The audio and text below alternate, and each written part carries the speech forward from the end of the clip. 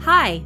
In this video, we'll show you how to export your private key from the Galleon's Cryptonomic wallet and import it to the Temple wallet.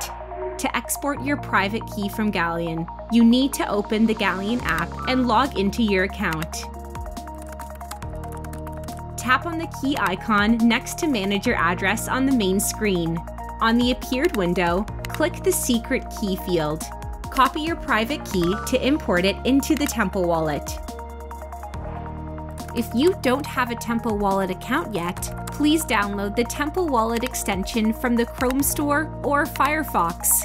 After installing the Temple extension, you will get to the start page where you can import wallet or create a new one. Please click the Import Existing Wallet. Make sure your internet connection is secure and there are no phishing apps in your device.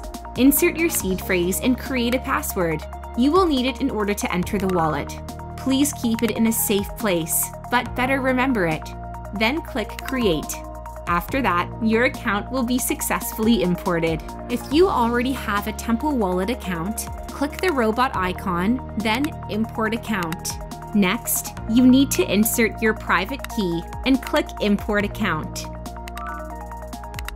After that, your account will be successfully imported. Now you can switch between your accounts by clicking the robot logo. Thank you for choosing the Temple wallet.